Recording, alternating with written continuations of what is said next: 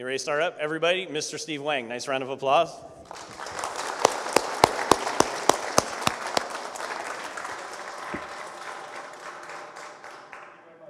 Anyway, I want to uh, thank Travis for inviting me here today for this uh, event. This is a really good, good cause. Uh, I myself, I'm a big animal lover, and so you know, seeing Neville's presentation was heavy, but you know, very. I think it's very good to be aware of what the animals go through, um, and um, so I'm, I'm, very happy to be a part of it. Um, I was invited here to uh, do one of my least favorite things, and that is to talk about myself. But fortunate for you, though, I, I, brought a lot of pictures, so hopefully the pictures will do the talking. Um, you know, I've been aware of Gnomon School for quite a long time, and it never just ceases to amaze me how, just how many amazing artists get trained or, or develop their artistic talents here, and, uh, and then get unleashed and make me feel like an idiot. But that's all uh, here there. Um, anyway, so what, what I've uh, done was um, I brought a lot of photos showing a lot of work that I've done. Um, mostly, I brought stuff that you, you guys might have seen in films. Uh, this year marks my 30th year in the film business as a creature designer. Oh, um, special effects makeup artists, you know, and so I've had a, a very long and uh, a fun career. And so I, I brought photos to show a lot of stuff I've done. Hopefully that'll, you know, maybe inspire you in some ways. See how we, how we used to do it back in the old days, which was a lot of traditional.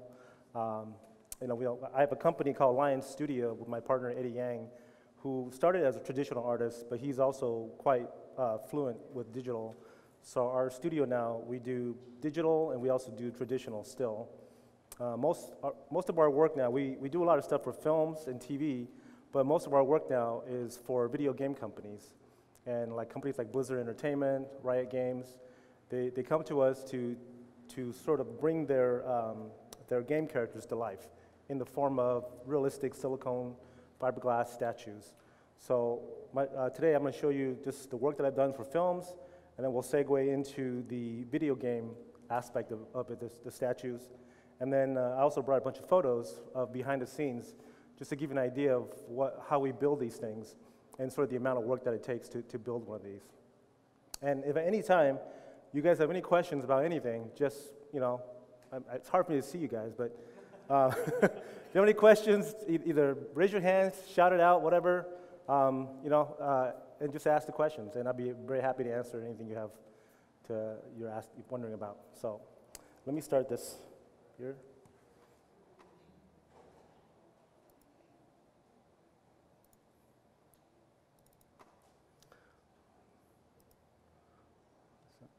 So this is uh, the Predator, and I, am sure some of you know this character, right? um, anyway, this was, this was a, a, job that I did for Stan Winston back in 1986, 87. I was actually 20 years old, not, not 19. Um, and I, I, was very fortunate. I had only been in the business for about a year uh, doing makeup effects, and uh, I met Stan Winston, and he hired me. And uh, he, I guess he saw that I had some potential um, and uh, he gave me a film called Monster Squad to do, the, the, the creature from Black Lagoon, which led into this. And so uh, he gave me the opportunity to co-design it with him and also to supervise the build uh, of, the character. And uh, it was crazy, you know, it's, it's at 20 years old, I was working basically 72 hours a day before I got the chance to sleep. And we did this for about two months to get this project done because it was pretty low budget and there was uh, a very small crew. So um, who was to know that this thing would become so crazy, right? Uh, this is one of the pictures I took on set. Uh, this is when, in the scene where he reveals himself the first time and takes the mask off. And then that's him with the mask. And uh, this here is the Monster Squad Gill Man. It's, uh, I actually did this right before Predator. This was a job that uh, for Stan that Stan was so impressed by that he, he gave me the opportunity to do The Predator. And this was the first time we actually had done a, a monster suit like this where it was basically seamless. Um, what was uh, interesting was a little funny story. My, my roommate at the time, Matt Rose, who's another incredible uh, sculptor, makeup artist, Uh, he did the Hellboy makeup, the very first one for Rick Baker. Anyway, Matt and I were, were given the opportunity to, to build this creature. And we were so surprised because I thought, wow, a couple of 20 year old kids uh, got this huge opportunity uh, to do this uh, with, along with the rest of Stan's crew. Um, each of them had picked a different character, and they gave us the Gillman, which was the one I wanted really badly. And so after we got assigned the project, I went up to everybody and asked, so how do you, you know, make a, a, a monster suit, being a newbie in the business? And of course, no one had any idea. It was just kind of silence. Then I realized, oh, okay, let the new kids figure it out, uh, which we were more than happy to do. And uh, in a three month period, we came up, Matt and I came up with a technique of doing sort of overlapping cores and, and life casts and doing everything as one piece versus it, traditionally in the past, there's all these so many pieces that things could kind of go wrong. And we, and we did this thing and, and, and inadvertently sort of set a new uh, technical uh, standard for how these things are, are done in the future. So that was, a, you know, a happy little accident. Uh, here's a, a, shot of the suit. The very first time we actually put them together. I, am going to sit, if you guys don't mind, I have a, kind of a bad back. um, yeah, this was the very first time that we actually put them together on set. Yeah, you can see. And also, too, the, a note about the paint job. This kind of paint job was also pretty new. I mean, there, have been instances of it uh, in like the Outer Limits, and also um, Enemy Mine had done something like that, Chris Walas. But I, I had always thought, you know, if you're going to do an aquatic creature, why don't you paint it like an aquatic creature? Whereas back then, the mentality of the makeup effects industry was, you know, if it's, if it's a lion, you paint it like a lion. If it's a, a, a monster, a creature, then you paint it purple, which was kind of a, a weird thing. So, so I thought, well, why don't we paint them like a, a, fish or like a frog or something aquatic? So I started to come up with these kind of paint jobs. And the very first time I, I showed Stan my design for the paint job, he literally looked at it and went, uh, no, because he didn't get it. And then uh, there was a, a contest uh, for the industry professionals at the time called the, uh, the Screaming Mad George Halloween Contest. And the judges were Rick Baker, Dick Smith, Stan Winston, and Tom Burman, four of the most uh, famous and, and talented makeup artists in our business. You know, these are the guys that we look up to as, as um, artists. And so they were the judges. So this was kind of like the face-off of our time. I entered the contest and I created this kind of a hermit crab-looking creature warrior thing, and painted it like you know real shells and real real crab. And then uh, I was fortunate enough to win the first prize for Monster Suit. And so once on stage and we're saying goodbye to the audience, Stan came up to me and said, "So you want to paint the Gillman like this, huh?" And I said, "Yeah." And he said, "Great." So we did this, and Stan was very happy with it. And then that ultimately led to Predator. Uh, here's a 20-year-old me sculpting the Gillman's bodysuit. This is back here. This is Matt Rose, uh, my roommate, who was sculpting the head. And Matt and I st- are still working together after 30 years in the business. He's an amazing talent. And then uh, this is from Hellboy. This is uh, Abe Sapien. I did this for Spectral Motion. Um, when I worked in the film business, I do, I'm a, basically a freelance artist. So I go from studio to studio, whoever you know wants to hire me to, to do stuff. And so I head up projects for them. So this was one of the projects I did for, for Spectral Motion. It was my job to basically uh, figure out how to create this makeup. And since this hasn't really been done before, there was, there's elements here like, you know, there's this uh, stretchy material around here and translucent panels on the side of the face, and the makeup had to be really sexy and sleek, but it had to be seamless. And this took about five months to actually test and develop. And eventually we, we did the, the makeup, and it worked out very well. I know Guillermo del Toro was really happy with it. Here's some more shots of it. And then this is the, uh, the, the, very first day that we were testing the makeup. This whole process was about eight hours because, you know, when, when you're doing a, a, complex makeup like this, where there's, there are literally suit elements and then there are prosthetics and all different layers, when you glue it onto an actor, it doesn't always work right, just gluing it on. You have to kind of figure out where to glue, where not to glue, uh, especially with Doug Jones, who's, uh, you know, amazing talent. He's uh, just so great in these makeups and characters. His skin, he has what we call chicken skin not a technical term. But just when you glue things on, it, it, wrinkles very weird on him for some reason. So part of our, our eight hour test was to glue on, see it, unglue it, re-glue it, just to try and figure out what the best way it is to do. So while all this is happening, Guillermo del Toro was sitting in the other room waiting. And it got to the point where every so often I would hear him yell across the room, Hurry up, Wang, this is like waiting for a prom date. Guillermo is a very funny guy. And this was our initial test uh, after that first eight hours. You can see pretty, pretty seamless. Uh, we ended up making more modifications to this, this makeup since this photo was taken. I had to actually resculpt his shoulders and chest and neck just to make him a little bit bigger, and a little bit sexier. And this is Sammael. This is also from Hellboy for Spectral Motion. I was in charge of supervising the build of the suit. A lot of my job is not just to uh, work on the artistic aspect of it, but also to engineer how these suits are going to come together. Uh, over the years of making monster suits, I've sort of innovated a lot of technologies that are incorporated inside the body of the suit. Whereas on the outside, you see a big piece of foam rubber, but on the inside, there's, there's skeletal structures, there's paddings, there's springs, there's all kinds of stuff in there that allows him to move more realistically and not just buckle up like a big piece of sponge. So, um, so this is all part of the process. These tentacles are really cool. This was uh, mechanized by Mark Setrakian. He is one of our most amazing and brilliant animatronic uh, designers in the business. This, these tentacles were so good, he had written a, a software program for it where they would literally move on their own and do its own thing. That when dailies came back, people thought they already CG'd the tentacles under the head. It looked so real. There's another shot of it. Uh, this was a uh, sculpture I did for uh, Amalgamated Dynamics Incorporated, or ADI. This was a, a, a project, um, I'm forgetting the name of it. It's got uh, Elizabeth Hurley and, and Brendan Fraser. Hmm? Yeah, Bedazzled, thank you. Uh, where you see her for a few seconds and she's this big demon. So I was hired by ADI to sculpt the, the, the demon head and also the suit. This is how you look in the film. I didn't do any of the cosmetics, paint jobs, or anything like that. Just, I just did the sculpture. But I thought you should at least see what it looks like when it was done. And this is uh, Tom Woodruff, one of the owners of ADI, uh, on set. He usually wears the, the, the suits that we make for him. Um, this is from Underworld Evolution. This, uh, I did this for Patrick Tatopoulos, and uh, I was his art director for many years on a lot of films. So Patrick and I have a really good working relationship. What he'll do is he'll sketch up concepts, you know, uh, rough concepts, and give it to me and says, hey, "This is what I'm thinking for this character. What can you do with this?"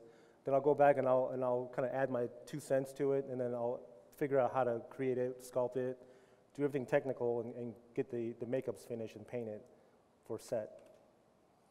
And then uh, this was the uh, maquette that I did for Marcus, um, early maquette, just showing sort of his musculature and how I saw him. This part here is uh, interesting because uh, Patrick had an idea about the, how the wings should fold into his back, but he wasn't sure how to approach it. So he asked me, "Can you can you kind of design this, figure it out with this concept?" You know, so I came up with the idea of having this second set of ribs that's actually overlapping and it'll actually open up. Uh, his back looks like this normally, but then when the, the ribs open up, these things, appendages come out. And they also do real magic CGI uh, morphing where other things are folded in here and they grow out and via magic, because otherwise it's kind of physically impossible. Um, and then we also had an interesting thing. This was his, one of his hands when he became a bat. Um, and the, the director loved it, but unfortunately, we couldn't do it effectively every single time as a makeup because it just took so long to do his body makeup every day.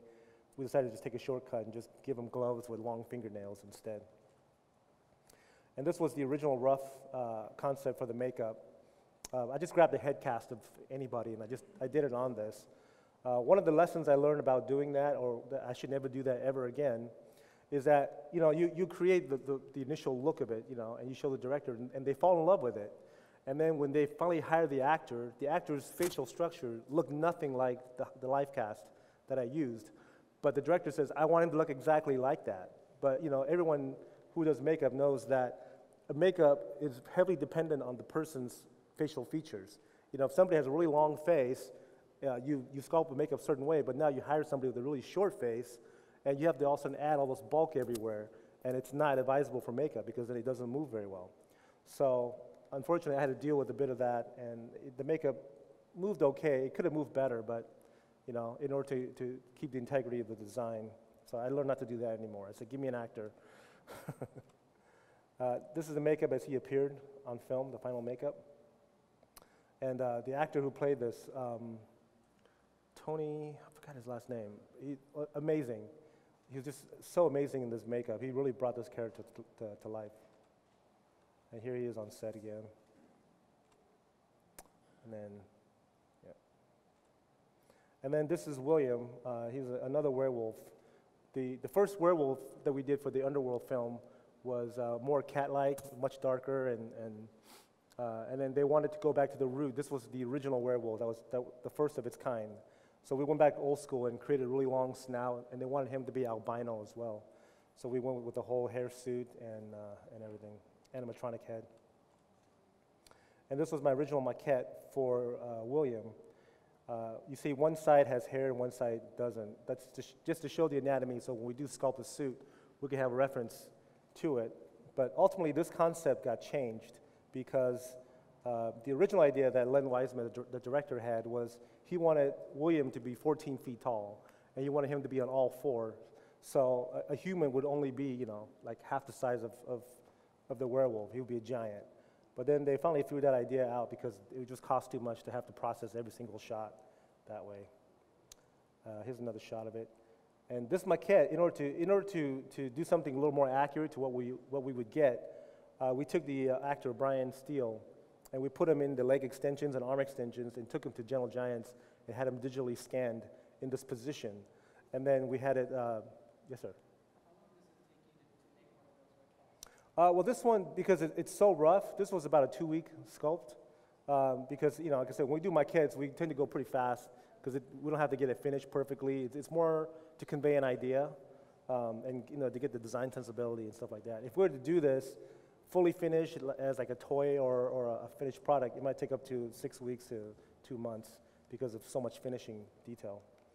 Um, so, we, so we took a, a scan of Brian Steele in this position and then I sculpted it over it so that you would literally, when we do the real one, that would be exactly what it would look like. And then this is the movie, the movie Lycan um, from the second one. We, uh, we had a lot of problem with the neck being so thick. This is, that was one of the design element that Patrick really loved, was having the big, thick neck. But for us, it presented problems physically because the foam gets so thick, it limits the actor's movements. So for the second film, we decided to go with a, uh, a hair, more hairier neck, so we can actually use padding that's softer and it'll move better. And whereas this is the first movie, you can see how big that the neck is. So this was the very first Lycan we did for the film. In the film, it just looks black, but you can see that there's a lot of coloration inside uh, in the paint job. And this is us uh, test fitting him. This is the animatronic uh, mouth. You can see if we, can go from completely closed to a pretty wide roar.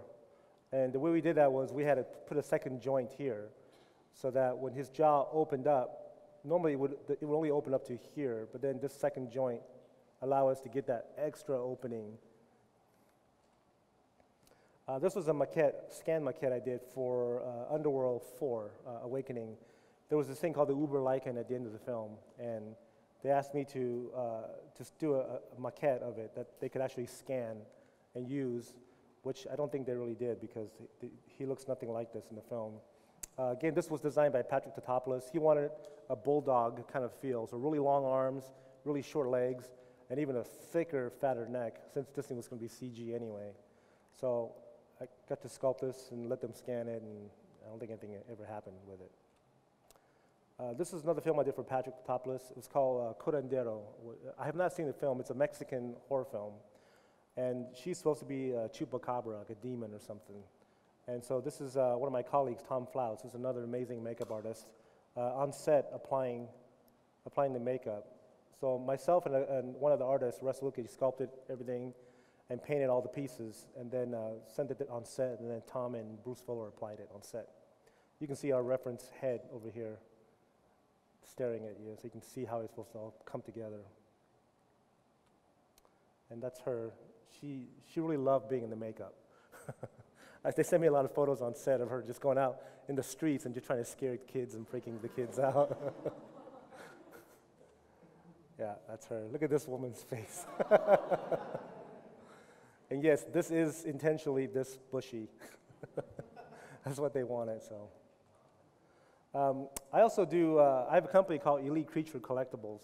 And uh, being a big fan and a big collector of artwork and also monster, monster art, uh, I have a, a, company with a couple of partners, and so we make, we make uh, statues and life-size busts that you can buy. This is, a, this is my favorite creature of all time, the original creature from the Black Lagoon. And this is the one-third scale uh, maquette that I did for it. Um, kind of a love letter to the original creature, because this thing's what inspired me to, to, get, to do what I do now. So here's another shot of it. He's, he's about this tall. And then I did a little tribute to the Aurora model kit. I had the little lizard there and then some water he's standing in. Um, this is a film called The Cave, also for Patrick Tatopoulos. And you don't really get to see this thing in the film very much. I think you see uh, a CG version of it flying around in a couple of shots, and then most of the practical were shot so close you can't really see what's going on. But which is unfortunate because we built seven of these seven of these suits, and they were really elaborate. Like all these things actually moved there's a little clacker in here in the sonar chamber that moved, which is how the creatures see. They're like bats. Um, the eyes, this is actually a translucent membrane. They have human eyes. So even though they're blind, their eyes can still move, and you can see through the membrane movement. All the, the lips, uh, the side of the mouth, uh, sinewy muscles are all clear, and the teeth are clear, and there's just a lot of animation, but it's just unfortunate. You couldn't see it. You get used to that working in the, the makeup business. You'll spend five months building something and you'll see it for about 30 seconds on film. Here's another shot of the head. You can see, you can see how this is all clear looking, and then the eye here too. And the teeth is clear. And then this, uh, this is, these membranes for the wing was something I developed for this film.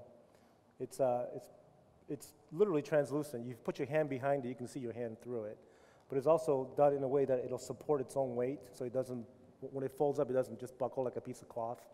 And, uh, and uh, it worked out really well for the, for the film. You can see a little better light coming through it. And then this is a, a original rough out of the head.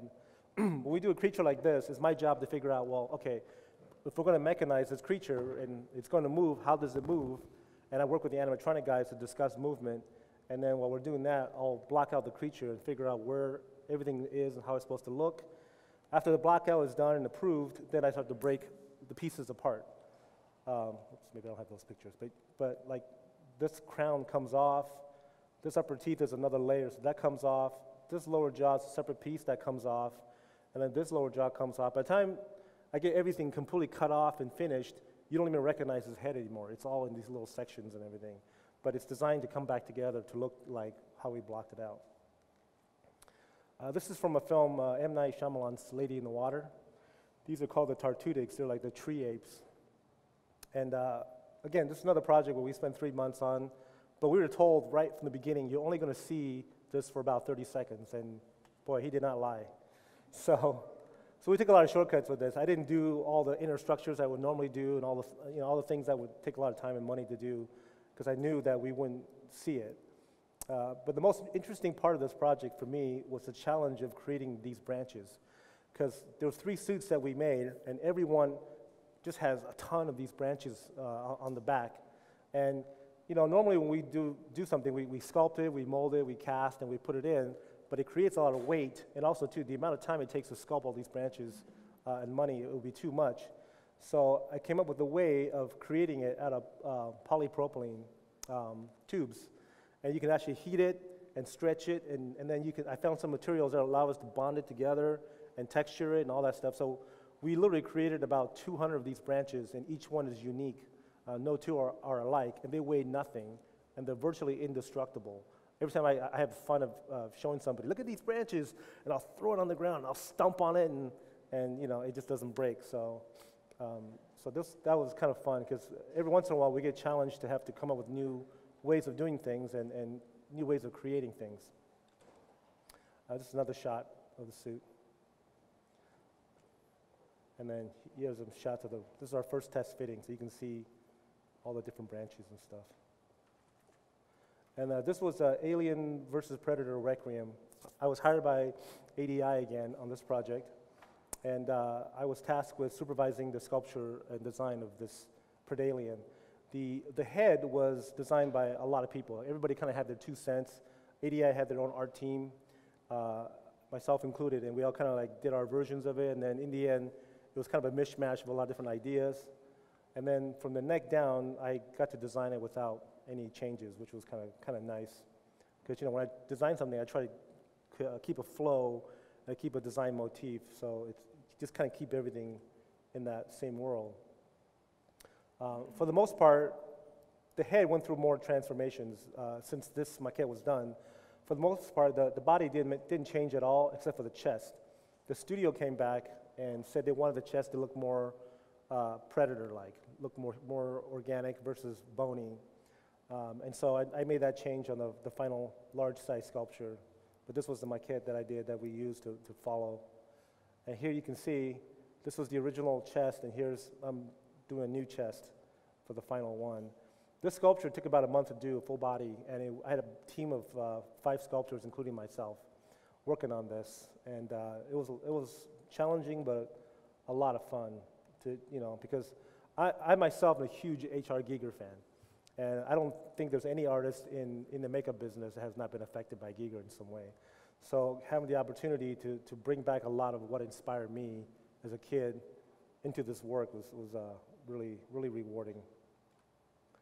And then uh, here's uh, Hiroshi Katagiri. He's another really talented uh, artist working on the sculpture together. And that's the finished. Oh, here's the feet. Trying something kind of different with it. And then this was the head block out. Um, I intended for this to be clear, like in the original Alien, so you can see a skull underneath. That's why this is smooth. You can see now I've transferred that into the clear skull. And all these eventually get, all the mandibles eventually get broken up and the jaws get broken up. And it kind of looks like this when, uh, when it's ready for molding. And then this is the, uh, the skull inside. You can already see a cut line right here. Uh, this was a project, Reign of Fire. I did this for uh, Miles Teves, who's also another incredible uh, sculptor and, and, illustrator and creature designer. He, he brought me in to work on this with him. So him and, um, and another guy was uh, Matt Codd, were in charge of designing all these things.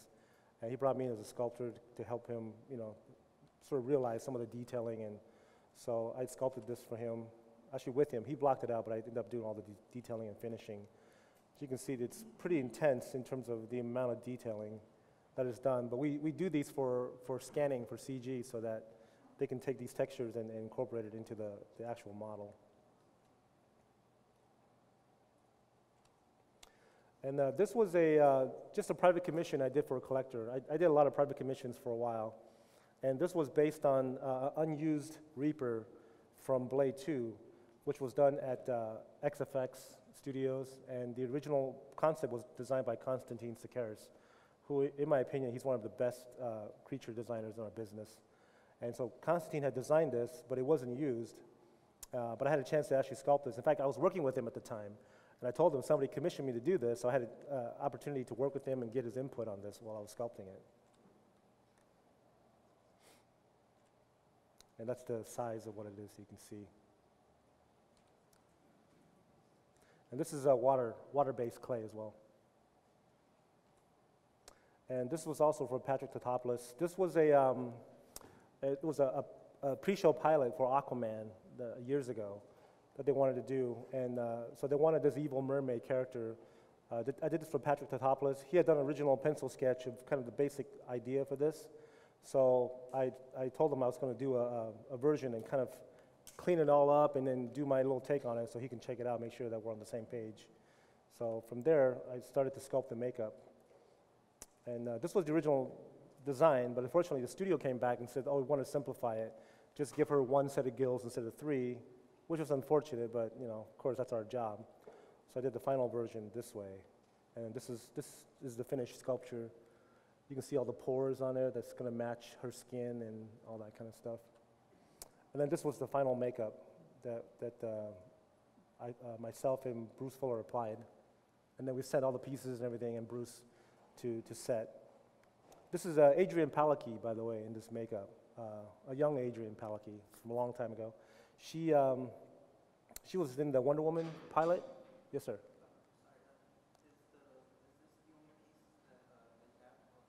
Oh no, actually, uh, we did for full body makeup. So this this brow here is one piece. This cheek here is one piece. She has another cheek that's one piece. She has contact lenses and prosthetic teeth. And then uh, for the chest, she has two separate pieces here on the chest that, that went down to her ribs. And then she also had a stomach piece. And then the rest was going to be a CG'd mermaid tail. So, and then we also had gloves for her too that was blended and, and colored with claws and stuff like that. And then uh, I did a lot of model kits when I was a kid. Uh, not, well, when I was young, I should say. Uh, this was a Frankenstein for a company called Horizon. He's 12 inches tall.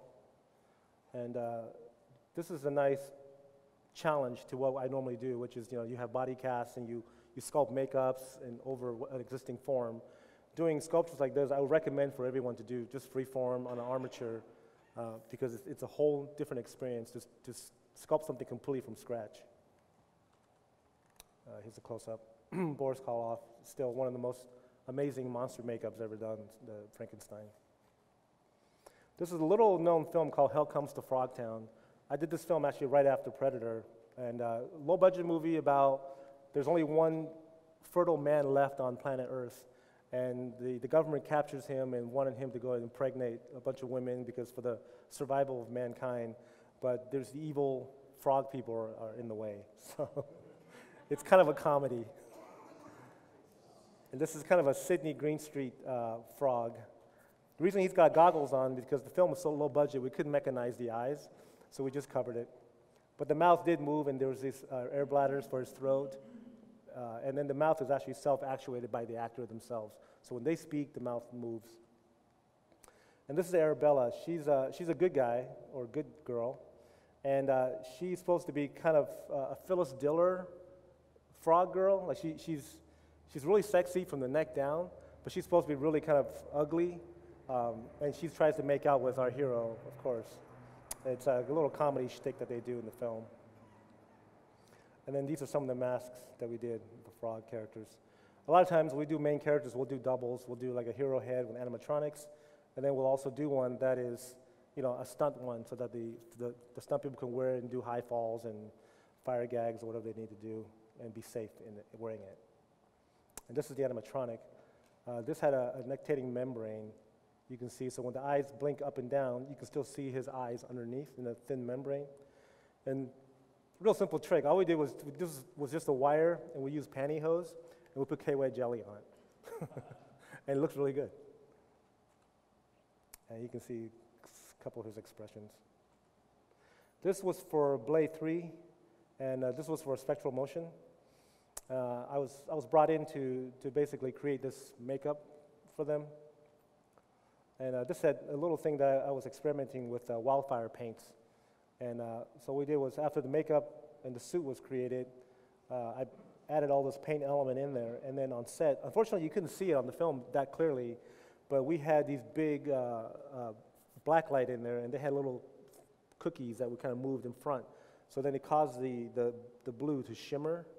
It looked pretty cool on set, but somehow on film, when they kind of graded the whole film down, we lost uh, a bit of the luminosity. Uh, Chronicles of Riddick. This was uh, I got to sculpt this, uh, these warrior suits. Didn't do the helmet, but I sculpted, Bruce Fuller and I tackled a lot of these suits. Uh, I sculpted the front side, and he would sculpt the back side, which I didn't think was going to work out so well, but it actually worked out really well. And we did a bunch of them together like this. So this was the, the, the necromongers. And then this was a, uh, some of the different variations of necromongers. I did a bunch of different crests. Uh, this, this one was of my own design. Then I did some that were copying off of some traditional, uh, I think it was a Negroli family crest from the 16th century or something. They wanted to sneak that in there, and then little face plates. And uh, this was for General Vaako. You only saw this helmet. He never wore this helmet, but you saw it in, in one shot sitting on his table while he was talking to his wife or something. So this was, you know, they just said, the funny thing about film industry, right? There, there's a lot of, uh, uh, there, I don't know, there's, there's this process where, of, of bullshit where I'm working with the, the costume designer and she's, she met with uh, the actor for like two, three hours talking about his character and about what his armor is going to look like. And so they're done with their meeting and I'm, and I'm sitting there waiting for them. They come in and then uh, they say, okay, so I, I was talking to, to, to the actor, and, and, basically, we want this, this armor to feel really stealthy. Like the key word keeps coming up with stealthy, stealthy. And of course, I know it's all bullshit. So I'm sitting there going, yes, yes, I know exactly what you want. I, I know exactly what you want. Then they leave, I just do whatever the heck I want. And then she comes back and she's like, perfect, that's exactly what I was thinking. I'm like, great, what's next? so this happens a lot. Um, this was for AVP, Requiem. I did one, uh, one of the first concept uh, little Predator face sculpts uh, because they wanted me originally to, to build a Predator suit since I built the first one. And I kind of declined and I said, you know, I actually want to do the, the Predalien. So, you know, but I thought I'd just bring the picture anyway. This was for the 1997 98 Godzilla, uh, the Roland Emmerich movie. I was brought on by Patrick Tatopoulos. It was the first time I actually worked for him. I had a huge crew. So most of the sculptural work was already finished, and they were in the middle of doing finishing work. So I was brought in to paint these baby Godzilla heads. Uh, these things were huge. Each head was like literally about this big. And um, I had to paint 12 of them. And so each of these heads took 50 hours to paint. So for three months straight, I just painted the same head over and over again. And uh, but you know, it's, it's interesting because one of the things that, you know, I, I take my work seriously, you know, and when you're being a professional, you have to, you really have to have the mentality of you're, you're in there, you have, a, you have a, a mission, you have a job to do, and you got to do it right. So having to do multiples of something, especially when it's complicated, is a really good, it's really good training to, to learn that discipline because there are a lot of times where you're going to be really bored with doing the same things over and over again, but you can't let the quality of the work suffer. So it's, I recommend, you know, if you have the opportunity to, to get in that kind of situation, to try it and just feel the pain. It's a good pain. Here I am putting the finishing uh, iridescent touches on the head. This is already on the animatronic head. You can see the eyes are already on. This is a, a, film that I directed years ago called Guyver Dark Hero, or Guyver 2 Dark Hero. And um, the Guyver is based on a Japanese uh, comic book, which was really popular in Japan and, uh, and I personally love. So when I got a chance to, to direct the, you know, the low budget film, but I got a chance to direct it, I just, I fully embraced it. And when I wrote the, the script of this with my writing partner, Nathan Long, we came up with a character called the Guyver Zonoi, where it's a, a next step where the, the Guyver's fighting these, these people that can transform into creatures. And so now we're taking it further by having the creatures having the ability to merge with a Guyver, like an armor suit. So we, I got to design kind of a new looking Guyver that's more creature-esque, so this was really fun. This is actually one of my favorite designs that I've, I've done. And then here's the Guyver, what he normally looks like. This is, I redesigned this based on the, the, the comic book. The comic book, he's very insecty, he has very superhuman-like proportions. And so I took that basic silhouette and I added a lot of touches to it to, to make him feel more believable in the real world you know, all his detail, even though it's, it's metallic armor, it looked more like bones. And then all these cords that, that wrap around him, they feel more like muscles and stuff. So, you know, just a take on, on what it could possibly look like. This is David Hayter. Uh, he is uh, known for being the voice of Solid Snake. And also, he's quite an accomplished writer. He wrote the, the first X Men, X Men 1 and 2. And, uh, and, and he's, he's quite an established writer now for, for movies. So he played uh, the human counterpart to the Guyver. He transforms into the Guyver. So this was uh, the good old days. And here's another shot. Um, this was uh, for Alien, Alien 4 Resurrection, right? Resurrection? Yeah. Um, I worked for ADI on this. Uh, I was part of the sculpting team for the newborn So I sculpted the head on the, the large size newborn, and then I had to sculpt a puppet, a two foot tall puppet of the newborn. So this was the puppet that I sculpted, uh, painted by M- Mike Larrabee. I don't think it was used. I think they ended up uh, doing something else. But, but this is the life size head that I did for the character. Um, and then uh, this was, this was in- interesting. This was the alien warrior. Um, we sculpted it at half scale and it was going to get scanned to be used as a CG model.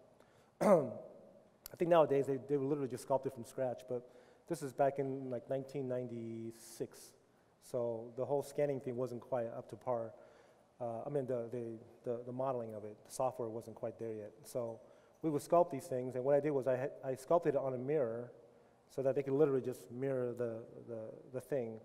You know, a, few of the things about digital that I really would love if we had the uh, practical versions of it or traditional versions, and that is mirror or symmetry uh, and the undo button, and then also in, in the ability to just move your sculpture any way you want and scale it any way you want as you need to.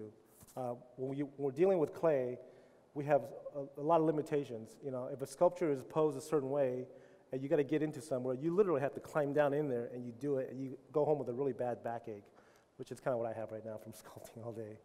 Um, but uh, but it's, it's very challenging for sure. Uh, here's another shot. Sorry for the low res photos, but this is about as good as my camera got back in those days.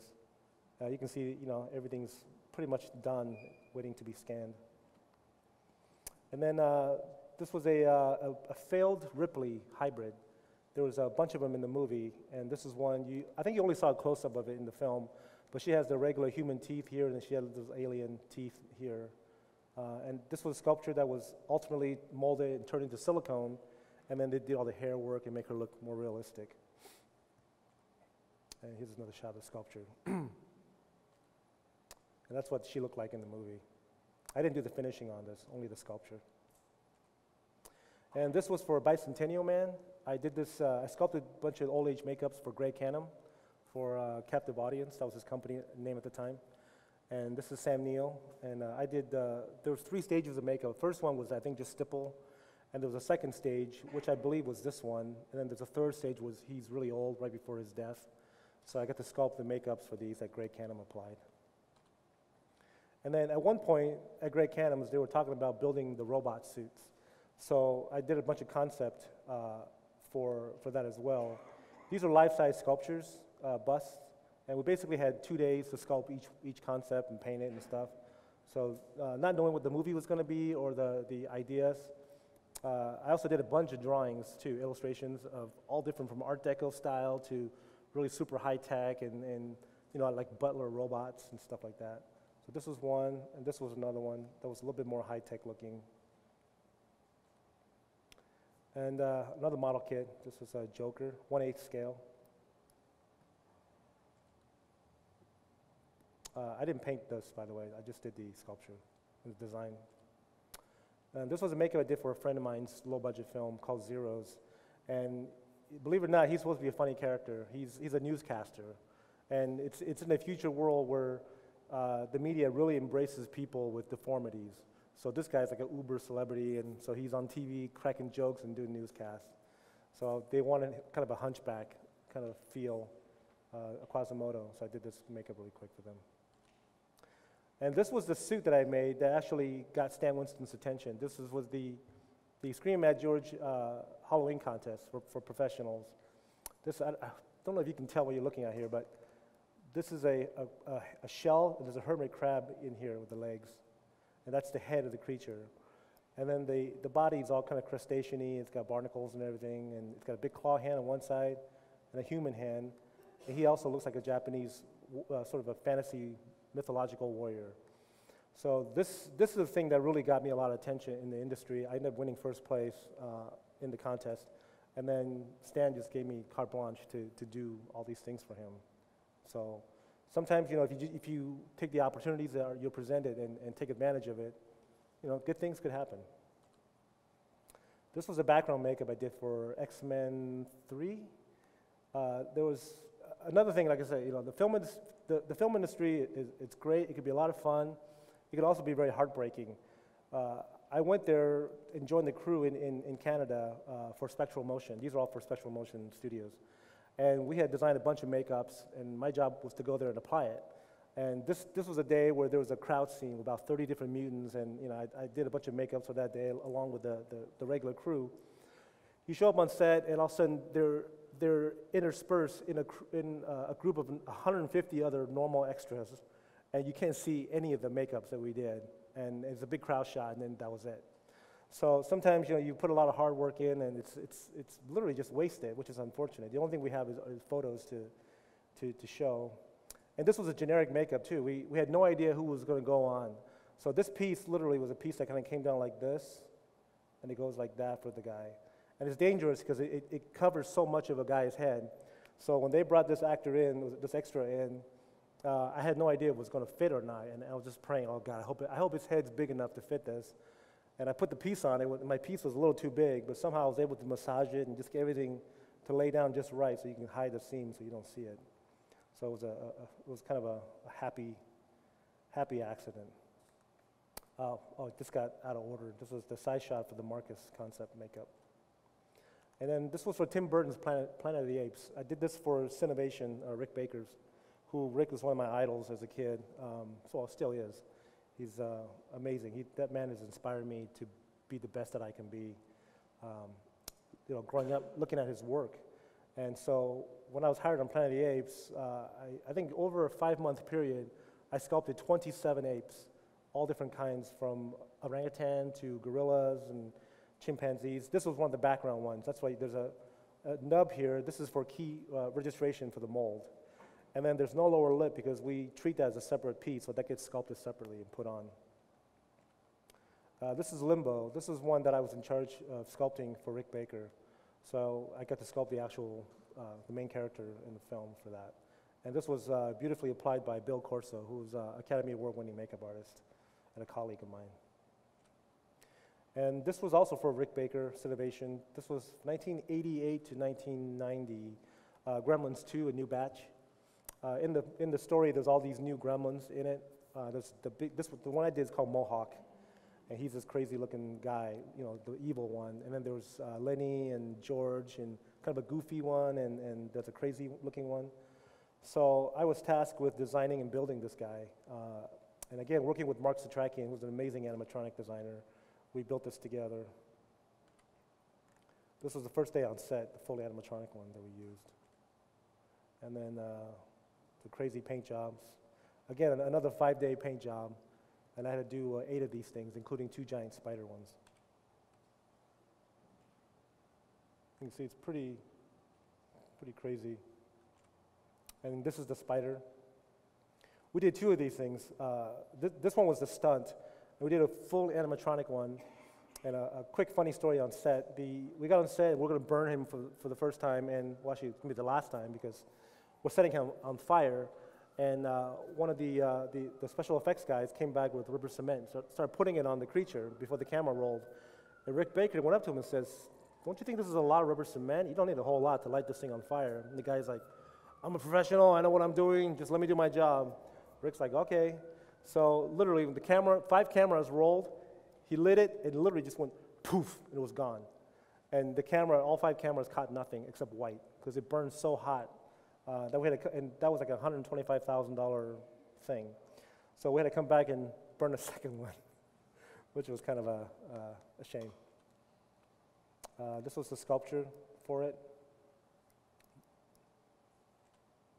Uh, this, th- this was uh, also for uh, uh, the, the, collectible world.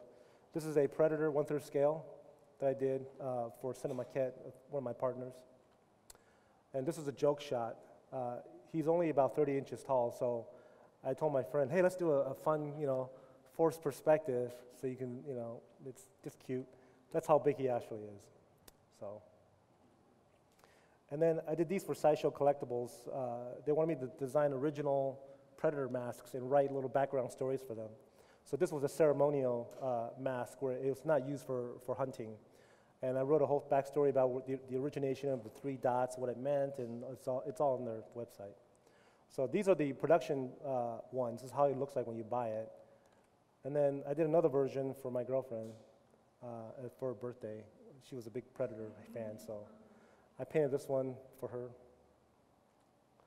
Um, model kit from way back. This, it's just, everything I do is inspired by, by nature. So what I like to do is take elements from different, different creatures and kind of put them together, but I don't like just taking it and putting, putting it together like, oh, here's a beaver head and a, a goat horn and a, a horse teeth or something, because that looks too goofy, right? You have to sort of kind of dig a little deeper and, and take the, the lines, the shapes, the textures, and all this stuff and try to sort of mishmash it together into something that might feel a little bit more believable. So that's what I try to do anyway. And this is another predator mask I designed and sculpted for Sideshow. This one is the serial killer of predators. He, uh, he likes to kill other predators, so uh, this one's called the, uh, the Stalker. And he has blades for his mask because that's his weapon of choice. And stop me if I'm getting too nerdy here. There's another shot of it.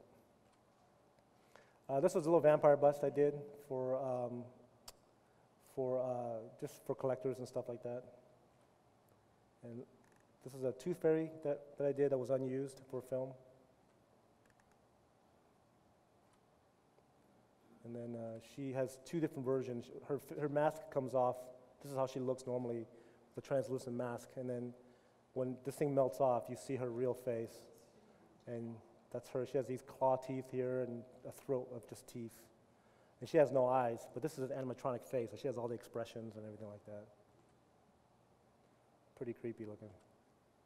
Uh, costume that I made for Power Rangers. This is all cut out of foam. And then some more pieces uh, for Sideshow. These are, I got to sort of do my own takes on Venom and, and um, what's this guy's name? Carnage. Carnage, sorry. I wish I was a bigger comic book fan, but I like the movies. so yeah, here's the Venom. Uh, this was Monkey Bone. I got to, to create the makeup for the Wasp Lady. This is a full-size makeup, by the way. Uh, and then more more uh, model kits I did. This is, this is an original design. Um, I just brought it to show the design element of it. That's how he looks. Uh, another film called The Jitters. There was this kind of Chinese vampire movie. So kind of went a little Yahoo with it.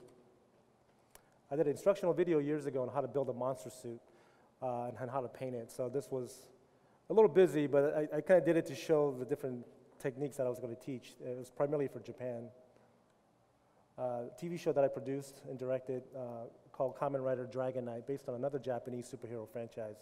And this was the lead villain, so I got to design him. And then that's.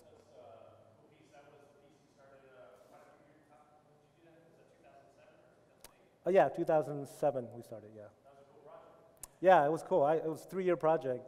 I was uh, executive producer. I was in charge of you know story, um, directing, editing, just everything creative I was in charge of. So it was really kind of cool to be entrusted with that much responsibility. You just don't sleep for three years, but it's a good trade off.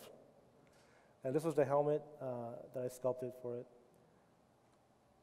And this is another collectible that my company puts out. This is a licensed uh, Blade 2 Reaper. Oops. That's what he looks like, uh, finish and painted. And we did also Blade 3 Trinity as well, uh, collectible. Okay, done with that. So next I'm going to move into uh, gaming statues. Let me show you, um, this is Ziggs from League of Legends. One of the things that we started moving into, uh, as, as film started to go more and more digital in what we do, the work that we do became less and uh, less necessary, I guess that's the word, or a word. So uh, what I found is, as that started to happen more, I was lucky enough to have sort of worked with Blizzard about 10 years ago on the side, and I was able to uh, create little statues for them once every couple of years. Eventually, that cemented into a, a, nice long-term working relationship, and then other companies have caught on and saw the work that, that we did for them.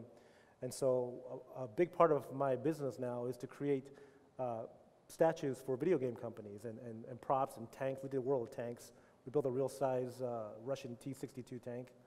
So we, we're now more into that aspect of it. And so um, this is a lot of fun. This is Ziggs. He has a lot of lighting effects. Like it, it looks like he's, these are going to explode. They go into countdown sequence and they do animation, and he has got all kinds of lights and, and uh, fiber optics in here. And what's interesting is that, you know, each one of these statues that we do, what's great about it is that un- unlike doing makeup effects, where we're creating a prosthetic or we're doing whatever, we're just making something to cover up a, a, an actor. What these statues are, even though they're inanimate, they're telling a story. And so, you know, each one, as we approach each character and, and choose the pose that's right for it, we're also adding all kinds of elements in, in, into it to tell a story like what is happening at this very moment of this character's life. So it, it's really a lot of fun to be able to think, you know, more into that and create everything. You know, every color we choose, every every shape that we sculpt, we have to have a reason why it, it looks that way. And this is Tyrael uh, from Diablo 3. This was a real challenge because we had to make him look like he's flying in the air, uh, completely out of balance. But he had to, of course, he had to be supported. And we had all this lighting animation effects. We had over 5,000 LEDs on this. Uh, we had six and a half weeks to build this from beginning to end.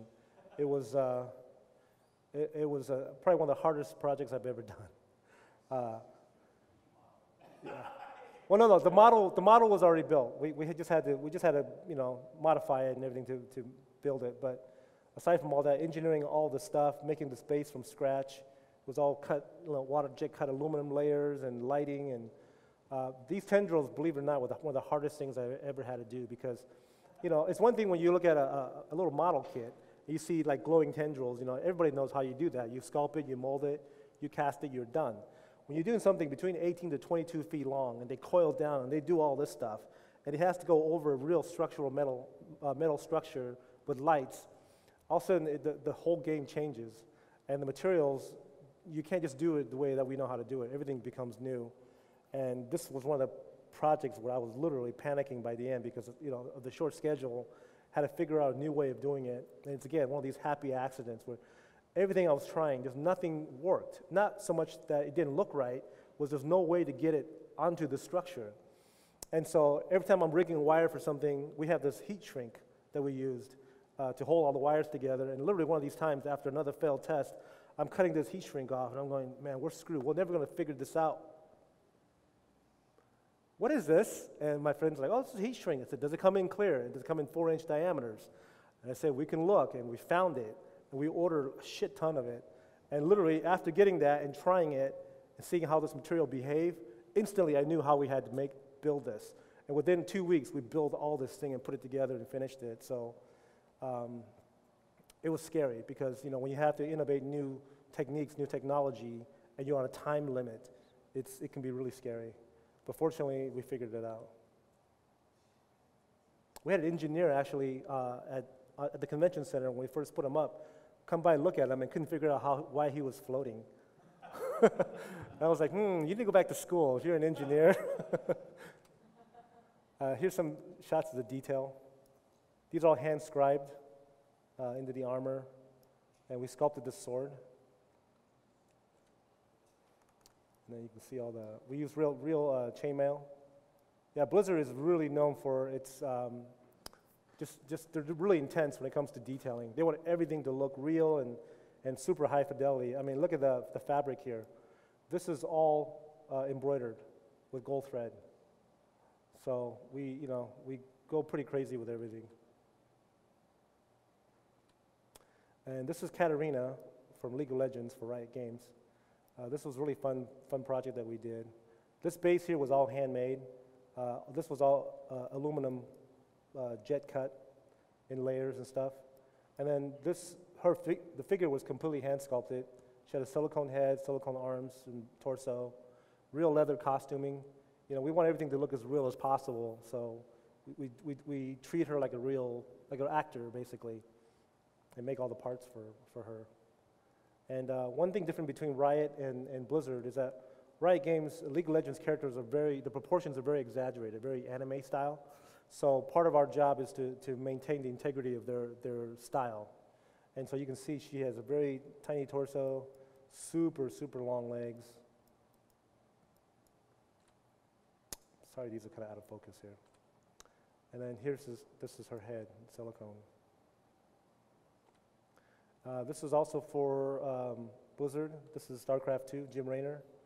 this was my first dealings in 3D printing. Very educational. I had no idea you could do this.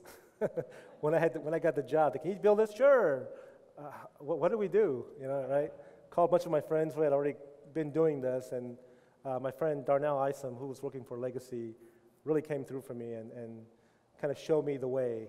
Um, and so he did, he did a lot, of, he helped me a lot on the, the, the prepping the files for printing and stuff. Uh, but we still did a lot of the head. I sculpted the head by hand. And then all these pipings all these joints, these are all, I built these things out of real parts you can find in an automotive store and, and also um, hardware store. And then also painted it too. Here's a closer shot of the head. He's got that thousand mile stare. It's like after a big battle, he's just kind of, his head is somewhere else. Uh, this is Ryze for League of Legends, another really fun project.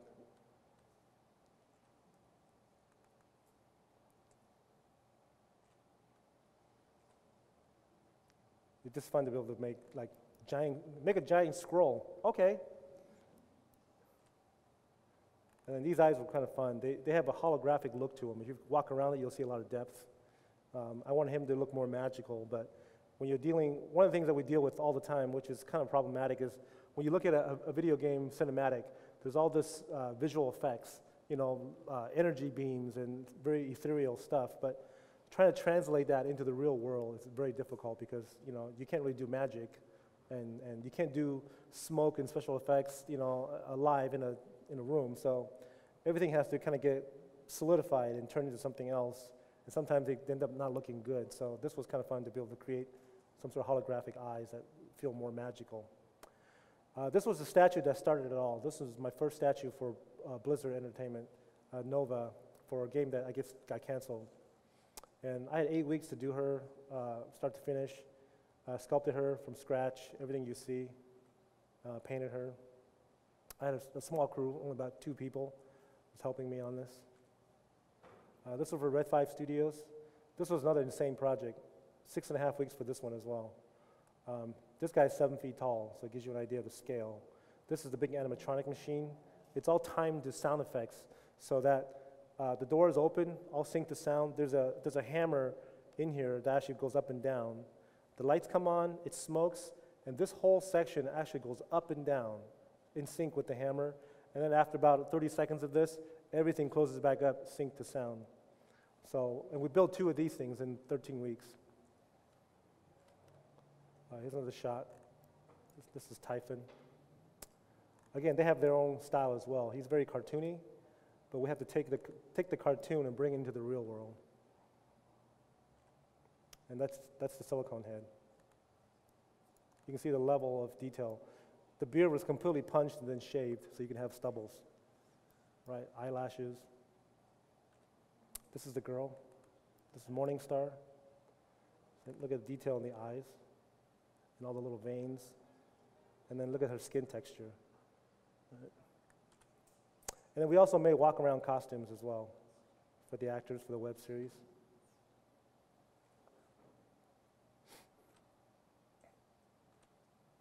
And this is Tryndamere from League of Legends. You can see all the lights here. Everything's all, all set up with lights, and they all have little animation to them.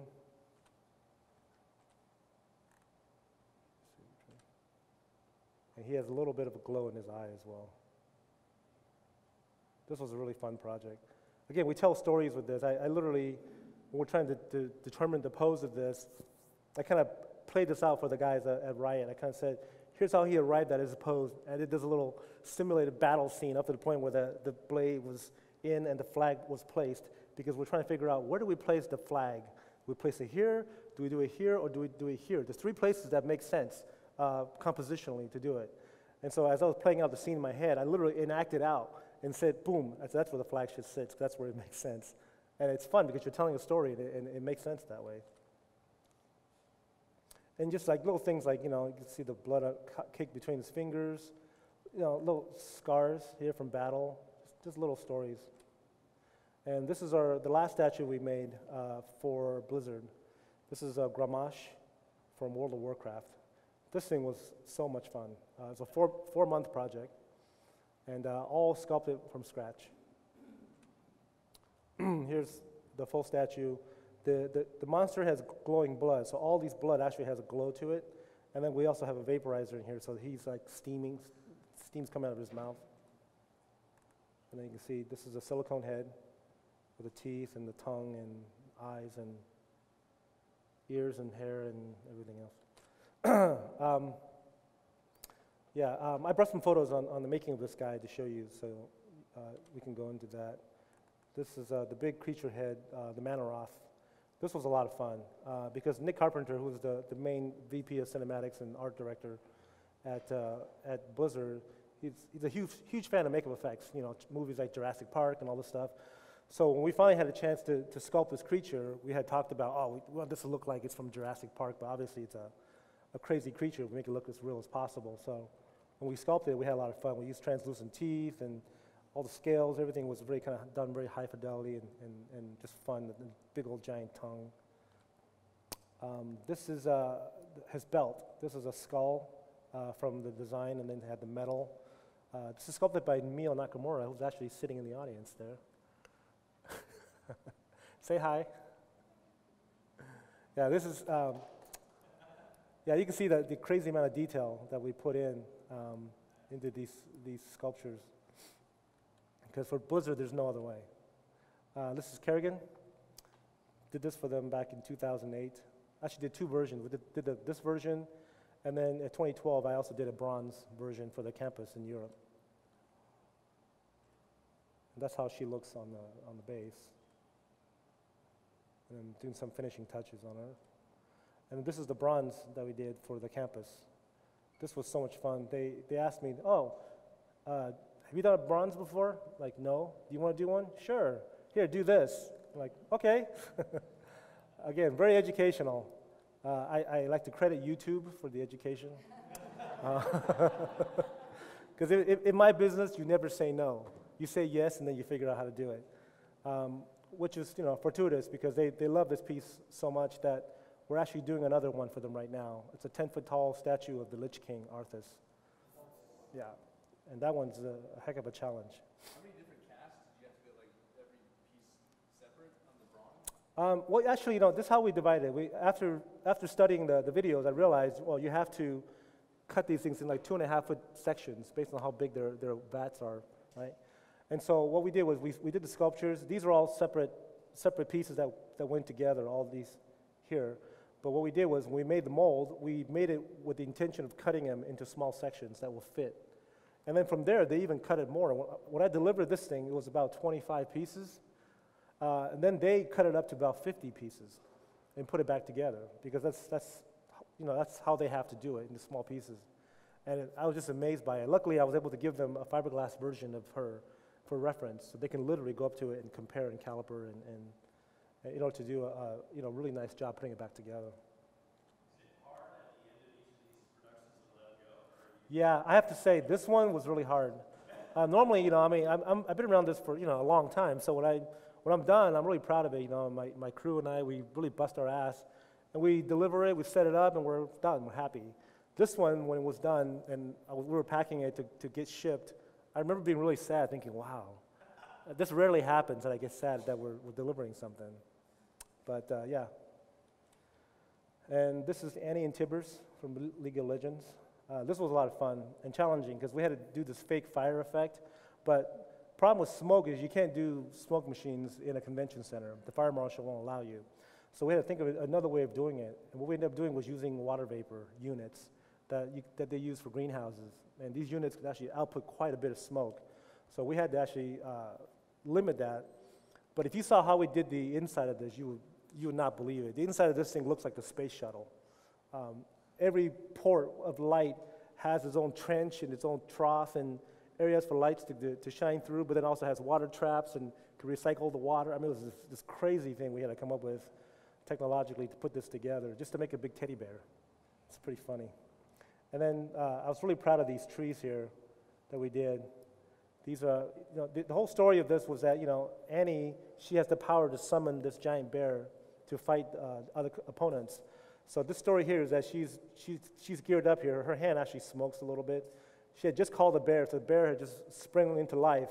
within a big explosion, and it knocked the trees back, causing it to all kind of burn and singed on one side. So that was kind of the, the story here uh, for this.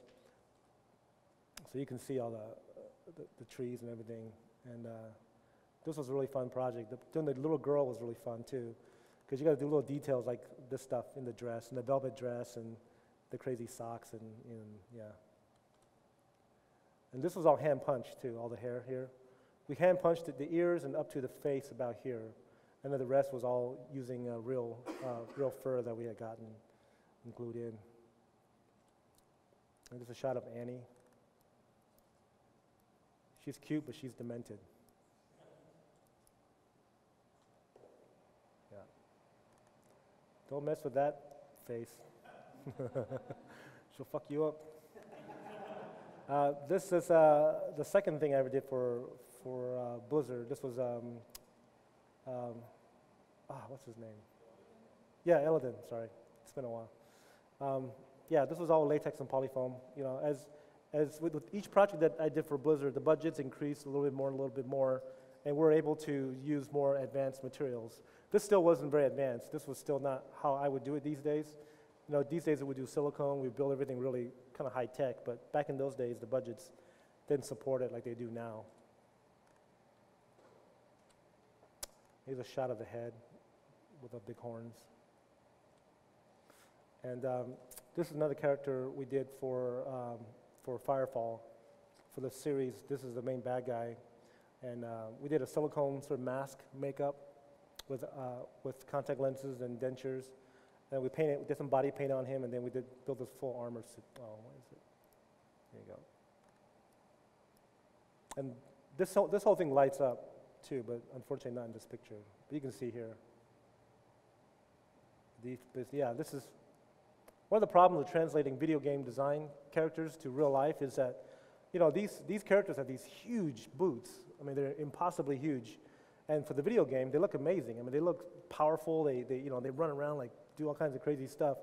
Then when you build it into a suit, even though we make it super lightweight, just the, the, the fact that something is so thick, it makes it very hard to move. So we did a lot of modifications, like moving pieces in, in ways that won't get in the way of us moving, and a lot of engineering went into recreating the suit. Uh, but still, just you know, when he's moving, it, it's tough to get him to move naturally. All right, so that's that. And then, uh, if, do we have time still? Okay, I'll just run through the, the making of Grommash. All right, so this is the, this is the Grommash. and what we do is when we work with Blizzard, they give us, a lot of times they'll give us super high fidelity artwork like this, these renders that, they, that they've made for the cinematic, which is not the norm for us. Most of the time we, don't, we work with concept artwork or rough sketches. So when we work with Blizzard, it's kind of cool because they just say, here, here's what we're, we're dealing with. And then we have room to still do, put our two cents into it and stuff. But at least, you know, going in, you, you can kind of go, okay, this is what we're in for. Look at this, look at this leather. Look at, you know, the textures here. We, we have to match all this stuff. And then also Brian Fay, their, their main sculptor for their toys, he also done this sculpture for them. And so they wanted the pose to be this, which also helps us tremendously because there's no guesswork at that point. We can say, okay, we're making this.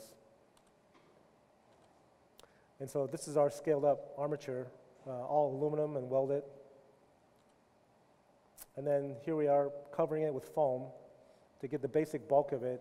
And then after this, we'll, we'll, we'll tape it up, we'll fiberglass it. But you can see the little model to the body.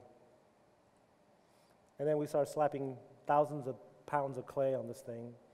Usually I'll block the head out with the body, get it get, all proportioned correctly, then we'll cut it off and mold that separately. This is Joey Orozco and Matt Rose. Matt Rose worked on Predator with me. He was my roommate and partner. These two are legendary sculptors in our business. They're amazing. And here they are sculpting on the body. You can see all the scarring and the, the wrinkles and then this is Matt and Neil working on tattoos. He's got a lot of tattoos, but inside the tattoos are a lot of keloid scars. So we had to decipher all that off the artwork and basically make our own templates and, and recreate it on the body. And then a lot of work went into texturing of the, of the sculpture. This is the finished sculpt. You can see the texture.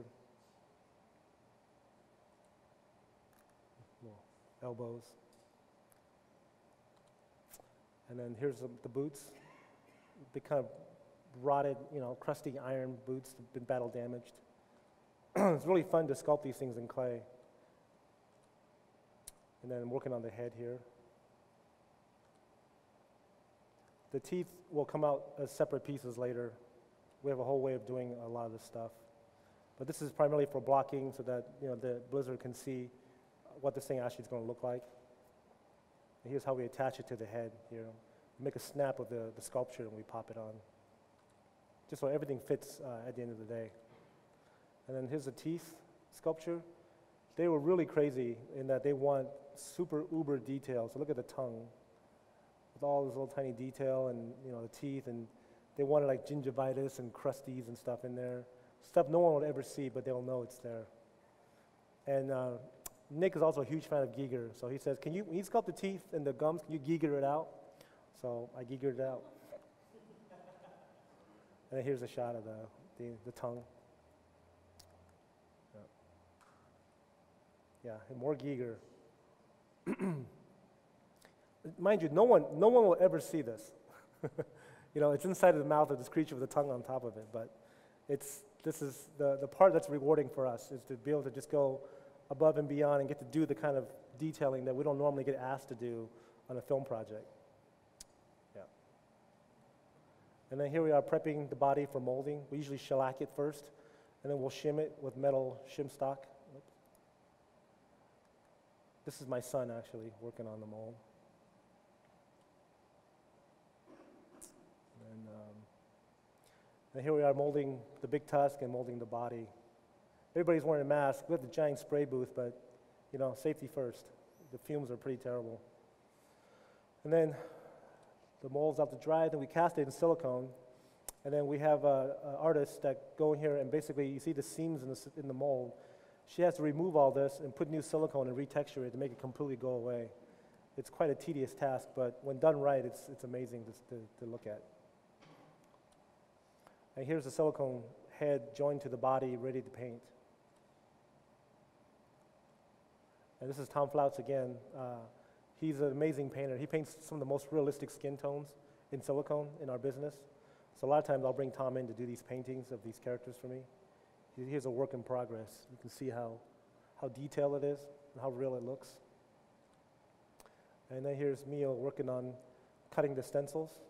We did latex uh, into the molds. We, we, we made basically stencils that are shaped like the body, and then we cut them out. We can pop it on the body. Pretty much like this, that you see. And then here we are prepping the base for sculpting. Here's the Mannoroth head, getting, getting roughed out.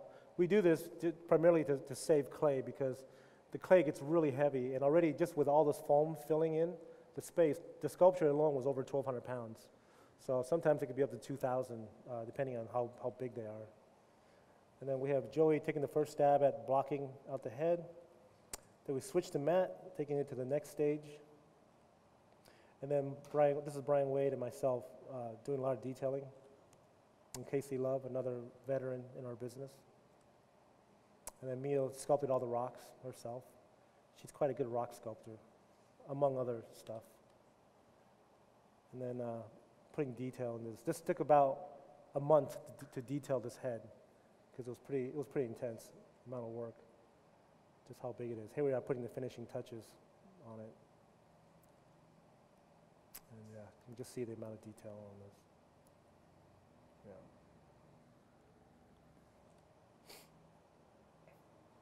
And we also incorporate real rocks into the sculpture too.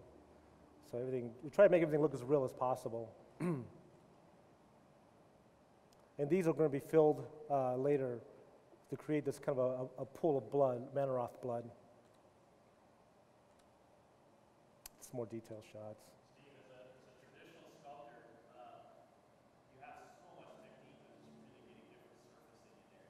Yeah. Oh, thank you.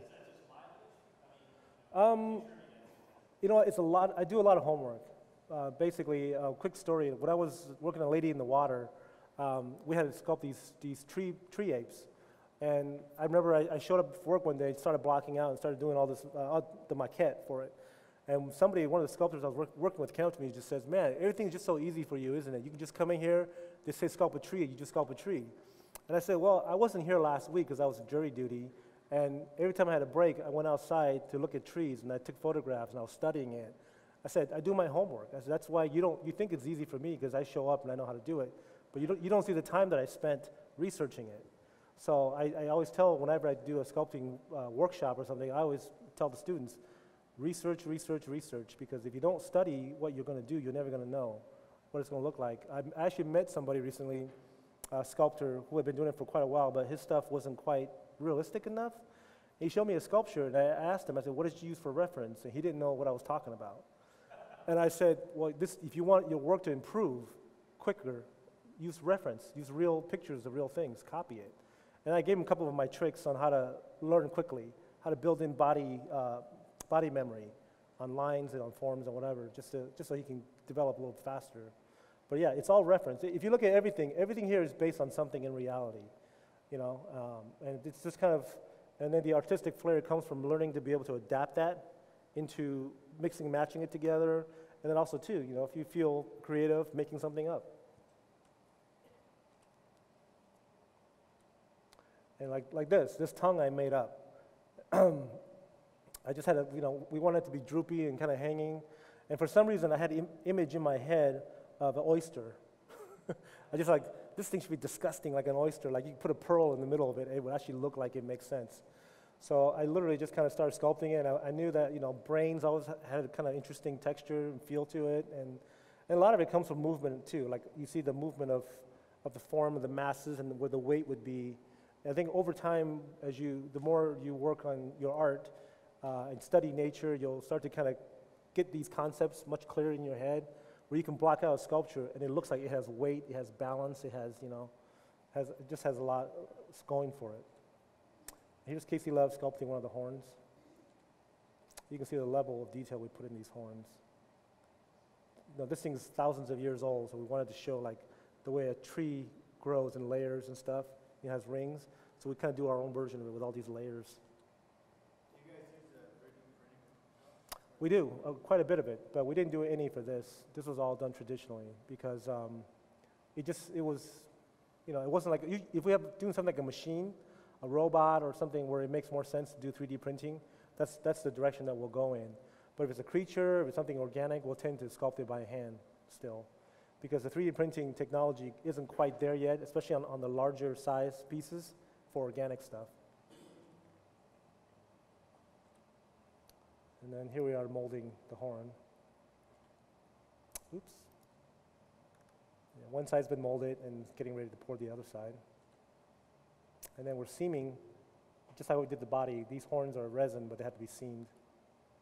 And now we're doing a test fit just to make sure everything works. And this is my partner, Eddie Yang. He's also an- another amazing artist. He does traditional sculpting and he also does digital. So he's in charge of our digital department in, in our studio. And uh, he's, he's, he can model like crazy and he also sculpt clay. So, and he designs too. He's our, one of our main designers. So he's blocking out the, the axe and then Mio is taking it to the next level. And then we ultimately going to hand it off to another guy for finish. We play musical chairs a lot in my studio because it just depends on who has the strength to do what aspect of it and who's available. So it kind of jumps around a bit. Sometimes, you know, like I'll start a sculpture and I won't finish it. Like it'll, let somebody else finish it, and somebody else will start something else, and somebody else will finish it. It just kind of, it's changed a lot from back when I first got in the business.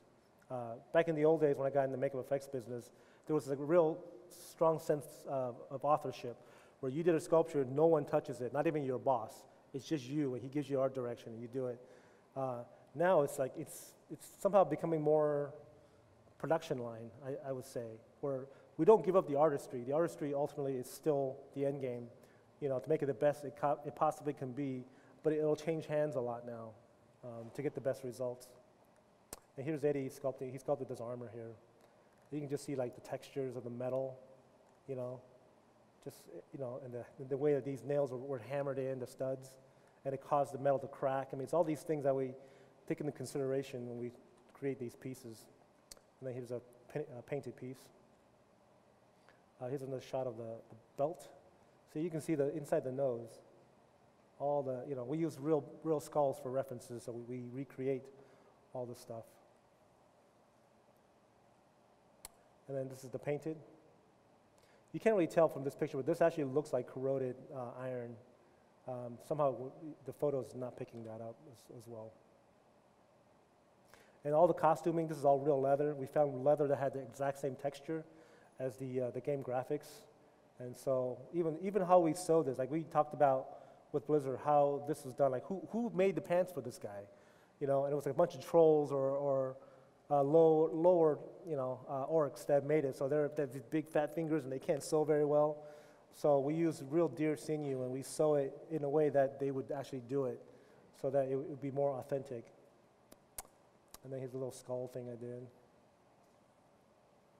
Again, you know, we try to do a lot of detail on these things. And uh, here's me working on a little necklace. This is crazy because here's the front. Like you, you only see this thing from the front on the statue, but we have, here's the back. right? We, we make everything look as realistic as possible. Like this is what you would find in a real skull of that creature if the creature existed. So, you know, we use a lot of references, real anatomy references, just so we can create the most realistic work. And then here's these little, we don't even know what the heck this is, but it's some kind of teeth of some dead creature. And here's the painted ones, ready to get stringed up for a necklace. and then here's sculpting some of the armor pieces. And then here's a painted piece of the armor. And the hand being blocked out. These hands will get covered by leather, so we just block out the forms, detailing teeth, more molding, more molding. One of the things we're really proud of is when we build our statues, we try to make it as light as possible. Oh, yes, sir.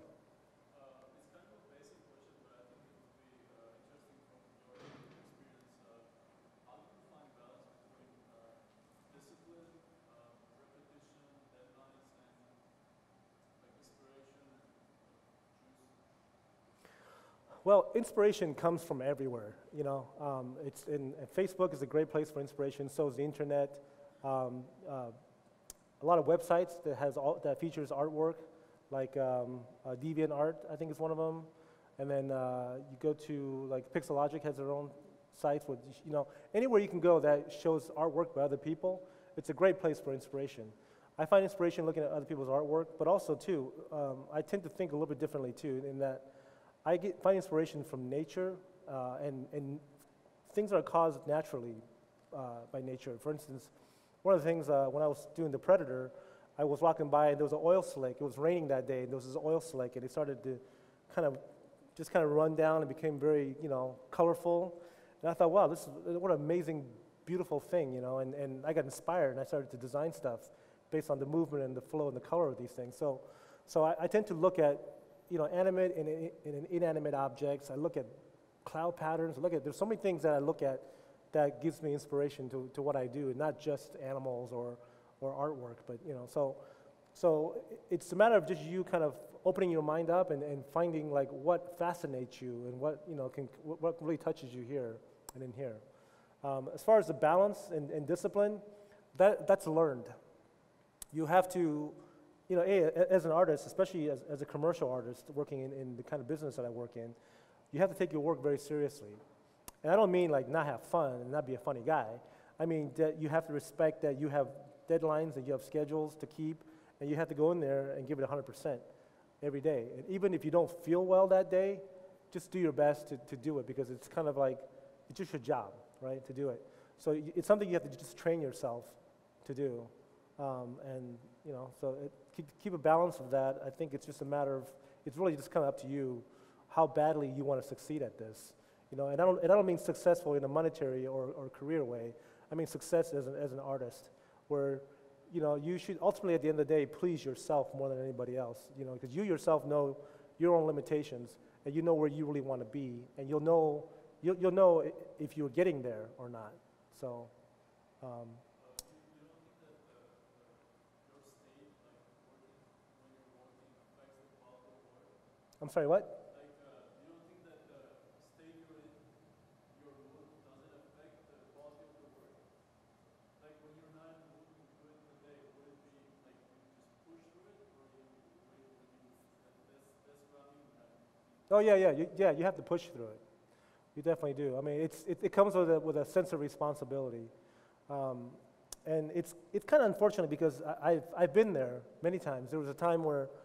I was so into this stuff when I was first learning how to do it, and you know I'm self-taught because I, I came I was doing this at a time where there wasn't makeup schools teaching makeup effects or you know everything. I if I wanted to do this, I had to figure out how it was done with through monster magazines, theatrical books. You know, there was no YouTube, there was no internet, so information was really hard to, to find. So the only thing kept me going was just basically anything I could see, making of King Kong on TV, 3 a.m. some, some night, you know, and I can get up and watch it because there's no VCR, you know, and stuff like that. And, and, and what I found is that um, if you really want it bad enough, you'll figure out a way to do it.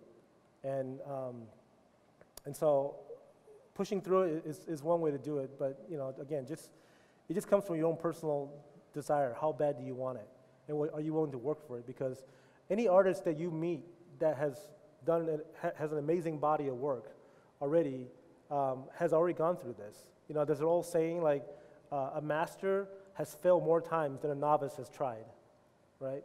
So that's and that's true. You know, you have you have to fail and fail and fail and just keep learning. It's a, you know, I'll be learning this until I die. You know, it's it's there's no there's no end game for me. The only end game for me is how much art can I do? How much can I learn before it's time for me to go? That's the end game for me. I do it because I love it so much. Yes, sir.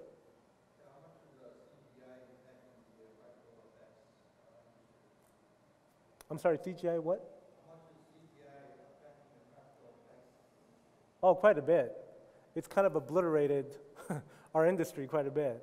And, um, and primarily, not, not so much in the makeup sense, because a, a lot of TV shows are, are still doing a lot of prosthetic makeups, and that's still, still going very strong. But anything that deals with animatronics and creatures and stuff now, it's, it's very limiting because people just tend to want to go and uh, do CGI. Like when I, when, I, when I go to the studios and have meetings about stuff, you know, the, the answer is always CG, CG, CG. They don't, they don't even consider practical anymore for the most part. The only time you, you get somebody who wants to do practical is you have a, a very strong director, like, like a J.J. Abrams or Guillermo del Toro, even Steven Spielberg, that says, I want to do this aspect of it practically. And they know how to integrate the tools where you can use practical for some stuff, you can use CGI for other things. It's a matter of using the tool properly to sell your effect. It isn't about your preference over what is easier or, you know, like, I, like I have no allegiance to practical, nor am I, you know, all about CGI. You know, being, a, uh, being an effects fan, for me, I'm all about what's the best tool to create the best effect. You know, when I was a kid watching special effects movies, special effects was about suspension of disbelief. It was about doing, creating an effect where you don't know it's an effect, right? But now everything has changed so much now. A lot of the magic, it's sad because a lot of the magic is kind of gone because there's a misconception about CG. You know, they, they think it's easy to do because it all comes from a box in the computer. They say, oh, this is all CG. They just push a button and it does itself, which is completely not true. You know, the, the, art, the amount of artistry involved in CG is immense, and the talent that is required to do the work is, is immense. But it's, it's not as appreciated because the general conception about it is, is, is different. So, you know, for me, it's always been about, you know, if you want to create a creature that looks real, uh, I generally would prefer to do something practical, but create it with the intention of having CGI enhancement. But what we do also only has, it has its limitations. So you use that part up to where it's, the the limitation tells you it's no longer good to use it. And then you, the rest you can use CG. So it's a matter of combining techniques to create the most seamless creature effect or most seamless, seamless uh, visual effect possible. I'm sorry, what? I'm sorry, I can't really hear you back there. future trend for the industry is, is uh, kind of the speed of production part of the success of CE maybe, and then future trends. Do you see more opportunities for us doing practical in markets uh, kind of rising such as your own? Um, I, you know, my, my outlook on practical effects is not as, as hopeful. Um, and, and until the day comes where the filmmakers decide to take a stand and say, we're going to do what is best to do the best effect and then not rely on what is the easiest to do. Because now, uh, with so many visual effects supervisors out there that does so much of the, co- the concept work and so much of the actual physical work for the director, they're not hiring a lot of directors to make these movies that have no idea how to work with effects, which back in the you know, 80s and 90s, and even early 2000, that wasn't true. So if you wanted to do a, a, a movie with effects, you have to know effects to a certain degree, or at least be able to work with a visual effects supervisor that can explain to you and work with you to create that effect. Nowadays, they just, they can, you can do literally anything. Well, shoot this right here, shoot the camera like crazy, and these guys will fix it and make it look amazing because they can, you know, it's, they can do it. Um, and I find that that somehow hurts the filmmaker because, you know, in some respect, they kind of lose their, their voice. Um, as far as practical is concerned, I just feel like until that, that trend changes, until filmmakers like J.J. Abrams, like I said, or Guillermo comes back and still says, I still want to do this part of it practically, and just choose the right tools. I, I think until that day happens and, and more people are doing it, I don't think, I think practical is always just going to be, it won't go away, but it'll be kind of kept as a sort of a more side thing. Yes, sir. Oh.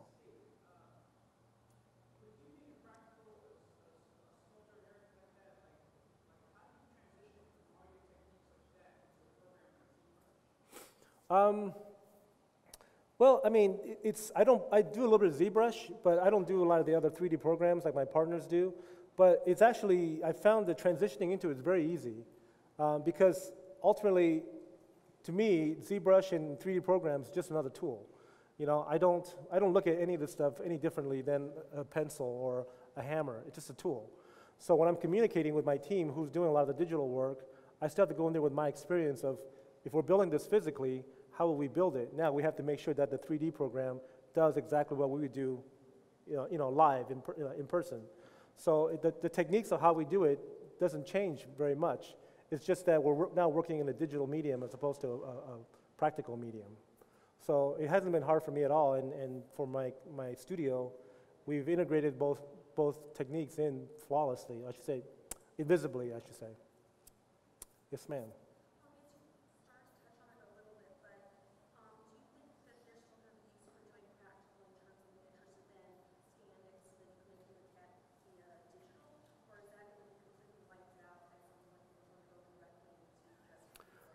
I, I don't think miniatures are ever going to get completely, completely go away because the one thing that I think a lot of people are not aware of is how much miniatures are still being used. Um, because now they composite it digitally, and it, so that everything has a slight digital look and feel to it.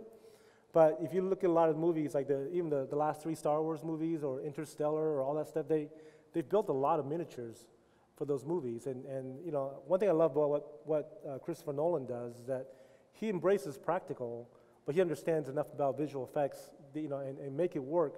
He does, he does what a true visual effects movie is supposed to do. He creates the imagery on film where you look at you, and it looks real, right? You don't, you don't really question it, and then you don't know how it's done half the times. Like in Inception, the scene, you know, in the hotel with the, the, the gravity-defying sequence. There were so many ways that he had done uh, that sequence, with built different sets and to do different things, and he put it all together, and it was kind of a part of my expression. It was a mind fuck, because at the end of the day, I remember watching it, going, I know how some of this is done, but some of these shots were really blowing my mind because I didn't know how they were done, but it was so beautifully done, you know, and it did never look fake. So, so that's I think that's one thing. Like he's one of the, these guys that are kind of he's not like like standing out as a visual effects guy because his films tend to be based to have a more realistic look to it, but he is using so much of the stuff that it's incredible. One last question. Yep. Just wondering, like, what would you say makes a successful creature or character, and what would you say are some things, uh, like you notice uh, students make uh, mistakes, like early in their time to move growing into the industry? Um, what was the last part again? Uh, Oh, um, well, the one thing uh, uh, I think a successful creature is one that you know a has to be believable, regardless of how crazy a design is. You know, it, you have to be able to create it in a way that looks like it could it could it could live, right? There was a time where uh, one of my uh, friends, amazing sculptor, one of the best in our business, he used to call me the king of bullshit, and because because he, cause he saw that I could just take stuff and I could just make up some crap. And somehow, even though it doesn't exist, it looks like it could. You know, that was his way of calling it. He called me king of bullshit.